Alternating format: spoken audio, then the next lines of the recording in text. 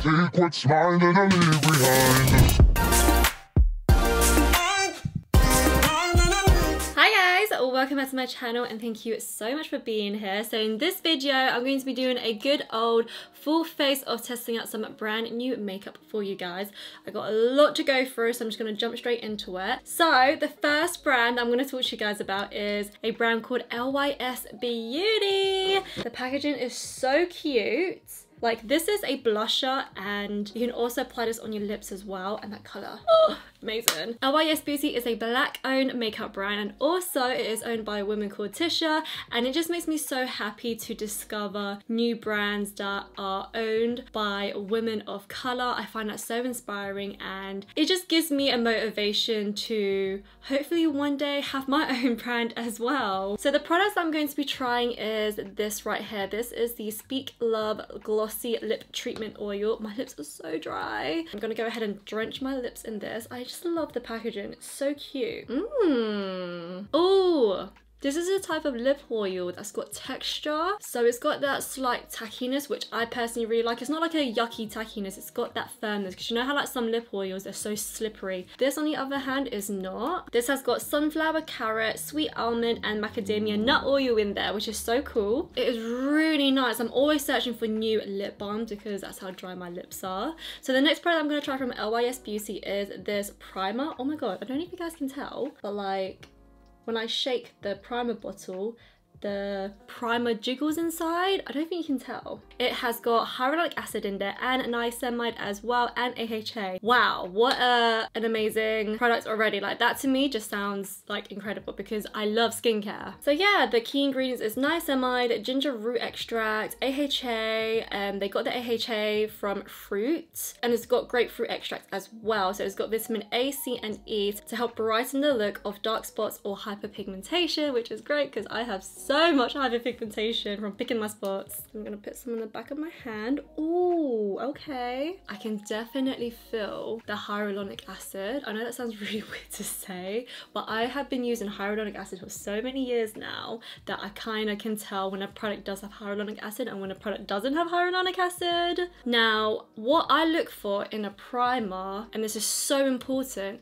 is that I have to find a primer that works well with all of my foundations. I have so many foundations, so many concealers, and I have noticed over the years of doing makeup that there are a lot of primers out there that just doesn't work with foundation. And what I mean by that is that every time I use a primer and then I go ahead and put a foundation on, the foundation ends up like rolling and building up into little balls and it just like looks really weird. It looks not cakey, but it just looks like the foundation is mixing in with the primer and it's just not working and they create like a little fluffy balls on my face and I have to like continuously blend out the little like excess balls. I don't know what to call it, I can't describe it. I don't know why some foundations don't work well with primers. It's just one of those things. It's like when you have an oily pan and you put water in it and you can see the oil separate. It's kind of like that. It's like some primers just don't work with some foundations. So yeah, hopefully this primer does work with a lot of my foundations. The foundation I'm I'm going to be testing out is the new Morphe foundation. This is the Filter Effect Soft Focus Foundation. It is a medium to full coverage foundation and I am in the shade medium 16. I have been using this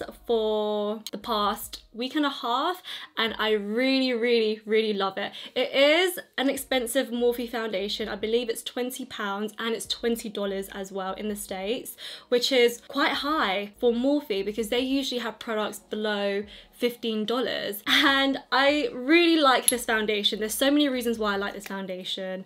Uh, to be honest the first time I tried it I didn't like it. And the reason why was because well it was a me problem. It wasn't a product problem. The reason why the first time I didn't like it it was because I put too much powder on top of this foundation and it just went really cakey real quick. So I find that with this foundation to set it I have to use a loose powder rather than a pressed powder. So yeah I just put a little bit on the back of my hand. I'm just gonna like dot it on one side of my face just to show you guys. This came with the PR as well. This is the Morphe brush. I really like this brush. They also sent me a sponge as well. This sponge is huge. But yeah, look at at that, it just quickly blends into my skin. It doesn't even look like I got foundation on. I mean, you can kind of tell I have foundation on because look how much it covers my imperfections, but still it just looks so natural. But yeah, so this is the before and the after. I just love how this foundation looks and I find that one to two pumps is enough for my face. You can layer on this foundation, but I personally don't want to do that because that's not my that's not my thing anymore. I honestly give this foundation like a 10 out of 10. It's so good. I just can't believe it's a Morphe foundation. As soon as I put this on, I was like texting my friend, sending her videos. I was like, girl, look at this foundation. Can you believe this is a Morphe foundation? I did go ahead off camera and put on my Fenty Beauty concealer on. I am in the shade 240 for the concealer. I'm now gonna go ahead and apply some which is my favorite step of a makeup routine. I love blusher so much. So I'm going to use the LYS Beauty blush. This is in the shade Passion. And they also have makeup brushes as well and they look so beautiful, very high quality, soft as well. I have nothing against Wet n Wild. I think Wet n Wild is one of the best drugstore brands. However, their brushes are very flimsy. This one just feels like it's not going to blend my blusher. As for this, it's got that firmness, it's got that grip, and also the material just feels better as well. I am going to use this brush right here. It doesn't have names, so I don't know what this is called. But as always, if you watched me before, I will leave links down below in the description box for you guys in case you are interested in checking out these products. So yeah, I'm gonna go in literally just a little bit because I feel like this blush is gonna be pigmented. So I'm just gonna do the shade of my face. So I'm going in bit by bit with the blush rather than going in and then do that. I love how it's blending with my foundation, but I don't think this shade is for me. I think this shade's a bit too, too much of a wine color. And it's not the type of blusher shade that I would go for unless I'm doing some sort of like fashion makeup look and my cheeks have to be like a different color. The consistency of this blusher is so nice though. Like it's not going cakey and it's got this really nice wet glowy look, kind of like um where my skin looks healthy rather than like a glittery chunky glow highlighter. So this product isn't new but I thought I'd talk to you guys about this anyway. This is the Shiseido matte powder and this is what I've been using to set my makeup whenever I use the Morphe foundation. I find this powder is super light and it doesn't like completely matte out my face like it mattes it out enough to the point where okay yeah that's like that's like nice and matte. it's not it doesn't look dry if that makes sense because you know like some powders. They make your face look so dry. They have another powder as well called the radiance powder and that is Oh, that powder is so beautiful. But I'm using the matte powder because I've been really liking the very like blurred out Photoshop type of um, base makeup look. And also this Morphe foundation lasts all day. Like I'm not joking guys, it doesn't budge, it doesn't go anywhere. Okay, next up we got the Physicians Formula Bronzer. Now I know this product has been around for a long time, but I've never tried it before. So this is my first time trying it. I'm so lucky I actually recently just got on their PR list. So this is really exciting because I don't know much about Physicians Formula. I know they're a really big brand in the States, but in terms of the UK, uh, I don't really know that much about them. But I was reading about Physicians Formula. They are a premium-ish brand, but you can get them from Boots. I don't think they're available in Superdrugs. And their brand is all about science and makeup and skincare all together, and I love that. Ooh, this is really nice, this bronzer. I love how like easy it is to blend everything together. And I am in the shade, God, why do brands pick the hardest names to pronounce? I don't know how to say that name. Mura Butter Bronzer. Okay. anyway, I really like it. And also you can flip it open. Underneath the bronzer, you can open it and there's a mirror in there as well, which is super handy. I love compact products. Okay, I'm gonna take a break from my face and do the eyebrows. So I discovered this on TikTok and this is the NYX Professional Makeup The Brow Glue. It's amazing. I've already used this maybe like five, six times and every time I use it, I just get more and more amazed because it just truly works. Everything about this product is just 10 out of 10. So the packaging is on point. There's already a spoolie in there. The consistency of the product is great. It's gluey, tacky, it dries down. It doesn't go weird and patchy whenever you go ahead and fill in your eyebrows afterwards. It's just a 10 out of 10 product. And on top of that, I think it's like seven quid or something. And I think that's so good. Now, if you're wondering what's better, this or the ABH brows, I feel like they're both great. Both brands are so different though. As you know, ABH is a luxury brand and their brow freeze, it is so expensive. It's 24 pounds. And I think if you want to spoil yourself, definitely go ahead and get that. But the only thing with that brow product is that I need to like wipe away the excess residues and oil on my brows in order for the ABH brow freeze to work. But this, the NYX the brow glue, I don't need to do any of that. That's why I like it so much. So you got to keep brushing it up or brush it in a direction that you want your brows to go. I like the fluffy brow look and then you just got to keep brushing it until you can feel the brow hairs go really like dry and tacky. Like look how high up my brow hairs are going compared to this one. Like that's how you know how stubborn my brow hairs are. They just naturally go down. But this, it just sticks it all up and it does last the whole day as well because I trialed it, tested it out. It really does work. It's honestly amazing, this product. Okay, so now that is on, I'm gonna use my finger to press down the brow hairs. This tip really helps set set and it just stays in place. And you wanna go in lightly when pressing it down. You don't wanna go in hard. And then I'm just gonna let this dry and then I'm gonna go ahead and fill it in. My eyebrows are dry, so I'm just gonna give you guys a closey up closey up, a closer look. Oh my god. So yeah, this is how they look. I am honestly so happy with this brow product. So the next product I'm gonna try is Huda Beauty. She just launched some new brow products. She has two different types of foundations. She has eyeshadow palettes, lashes, mascara, lip liners, liquid lipsticks, lip glosses. She is really coming in. So yeah, I am so happy that I got these. Thank you so much to Huda Beauty. It's always a pleasure receiving your PR. She kindly sent me the shade Soft Black, number 8, 6 Rich Brown, and 7 Black Brown. So yeah, let's swatch them all. Okay, so I just swatched them all. You can't really tell the differences. When it comes to brow products, the best way to see comparison is when it's actually on the eyebrow. So I do recommend in going on the Huda Beauty website or the Huda Beauty Instagram page just to see the comparisons. I do think these products are going to be very loved. And the reason why I say that is because I am such a picky person when it comes to brow products. They have to be 10 out of 10. Anything below 10 is a no. The brow pencil is so fine, it's literally 0.9 millimeters, so that's very tiny. And when I was swatching them, I accidentally snapped it and it kind of gave me a flashback to when I was a kid. Do you remember when um, those pencils where you had the lead in and you push down the top and it comes out really long. And then yeah it just reminds me of that. It's so cool. And I am gonna try the shade not rich brown. I think that'd be too warm for me. I think I'm gonna try the shade black brown. I am trying to go for a lighter softer brow look. Oh, now that it's on my eyebrows, I think this is a bit too warm for me. So I'm gonna change it over and go for the soft black instead.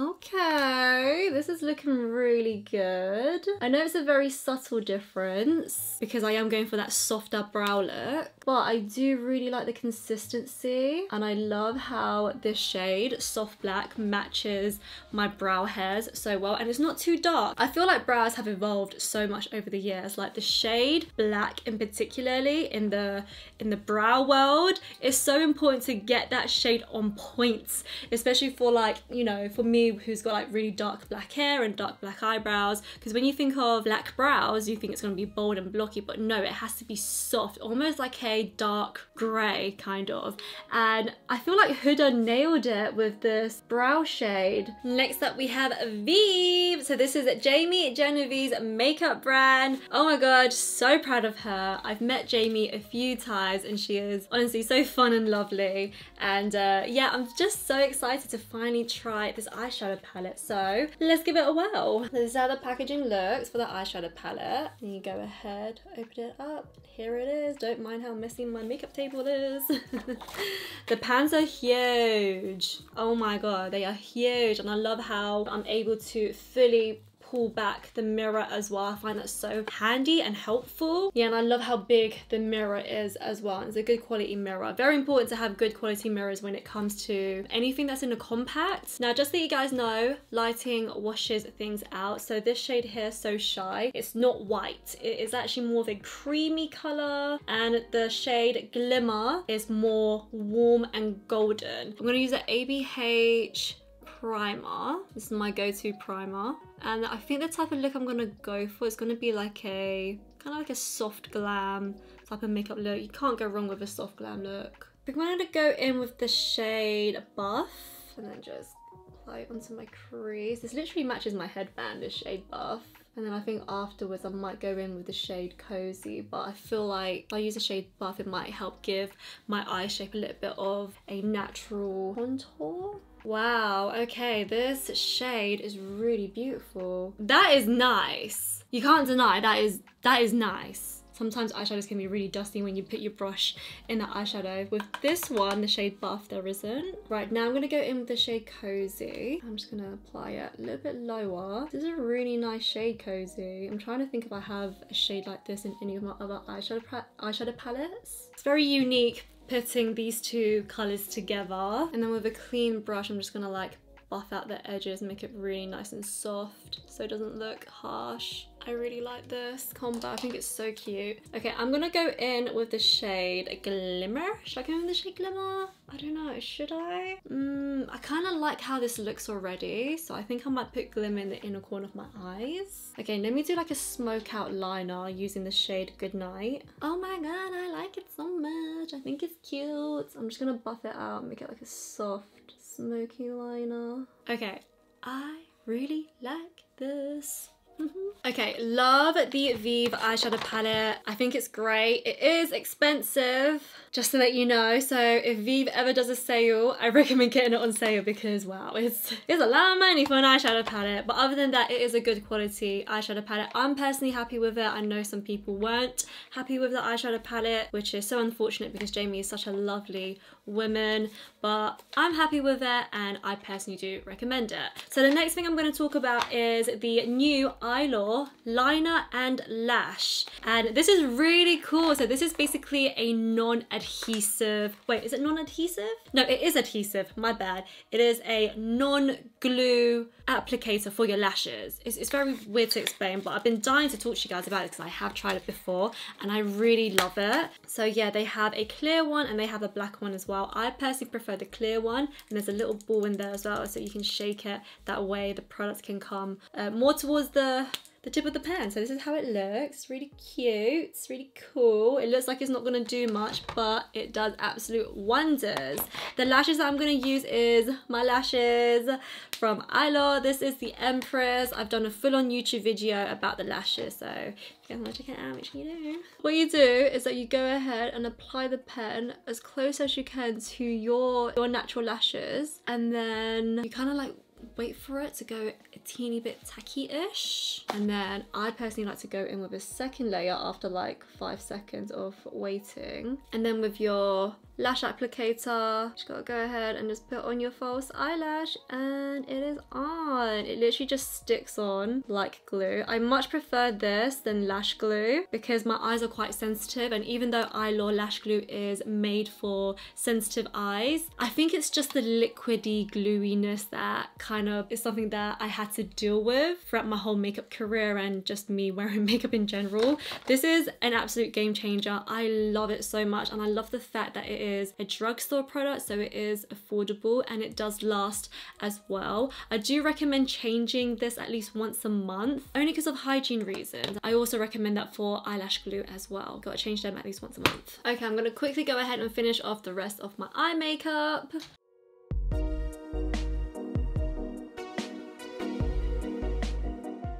Okay, I am so happy with my eye makeup. Moving on to the rest of the face, I also got the Vieve highlighter. This is in the shade Holy Chic, and this is how it looks. Really nice and quite goldeny. Okay, I've had her some things. Apparently it's really chunky, but I want to see how chunky it is because sometimes when I was when I was watching other people try this highlighter on, I couldn't see it as well because like I said earlier, lighting washes out everything. So I want to see for myself how this really looks. Oh yeah, this is the type of highlighter that does have glitter chunks in there, but it's not as bad as some people made it out as like some people really disliked it and I was just like okay. But it still looks good though. It's very glamorous. This is the type of highlighter I'd wear with a face like this you know full face of like glamour soft glam makeup. If I was doing like a natural type of makeup I wouldn't go for this type of highlighter. I would go for something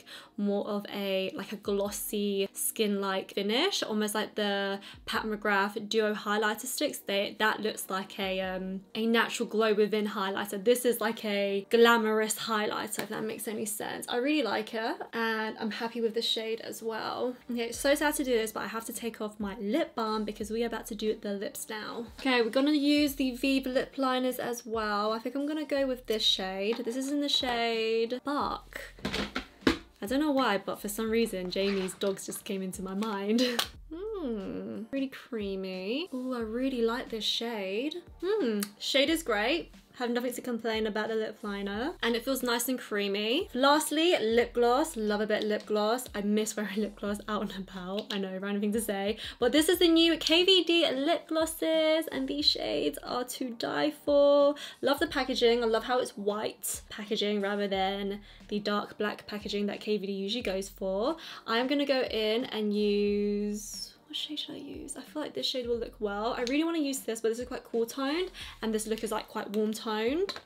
So I'm just gonna go ahead and put this on. This is in the shade Camilla 10. Oh, okay, and that's the applicator. Oh my god, this is a beautiful combination. Oh Oh my god. And it's so creamy and hydrating as well. Mmm, and it feels so nice when I press my lips together. It kind of feels like silk. It's really weird to describe. It feels amazing. Oh my god, love it. And I love how the KVD lip gloss managed to melt into my lip liner as well. So it doesn't look like I have like a harsh lip line going on. This is so nice. Oh my god, I'm so happy with my whole entire makeup look. So this is the end of the tutorial. I know it was very long, but I really hope that I helped you guys out. I really, really love how this makeup turned out. I think I'm gonna recreate a look like this again in the future. Can't go wrong with brown tones. Thank you so much for watching today's video and I will see you in the next one. Bye!